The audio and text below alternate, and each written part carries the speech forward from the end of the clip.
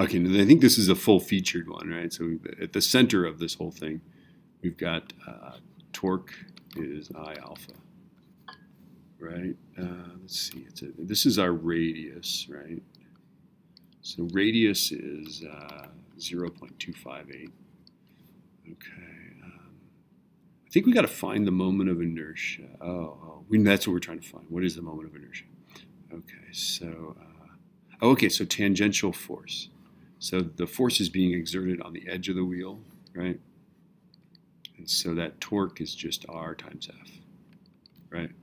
So our torque is 11.5 uh, times 0.258, right?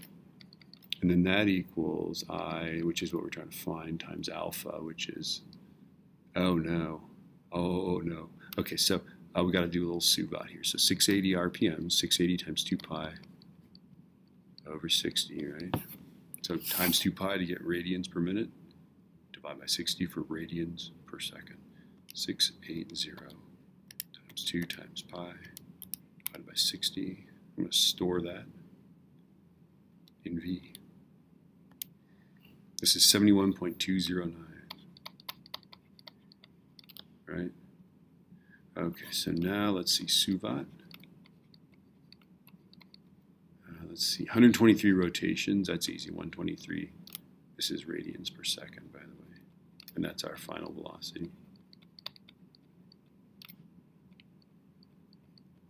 Okay, and then 123 times 2 pi, that'll give us radians, which is what we want. 772.83. Going to store that in S just for fun.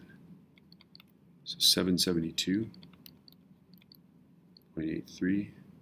Okay, initial velocity is 0. Uh, okay, yeah, we're just trying to find alpha is what we're trying to do. Okay, so uh, we want to use no t, right? So uh, v squared is u squared plus 2as.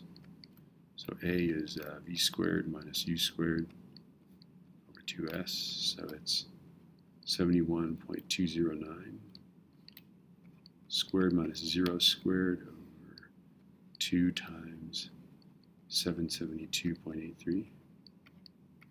Okay, so here we go.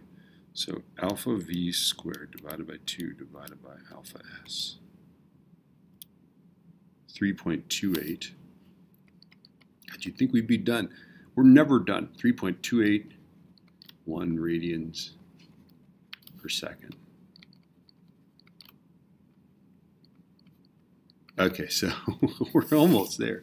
Okay, we're just trying to find this perfect thing here. Okay, um, I've got a good attitude. Okay, so I'm going to go this times this divided by this. Okay, 11.5 times 0.258 divided by the answer that I just got. 0.904. 0.90439, etc., kilogram meters squared.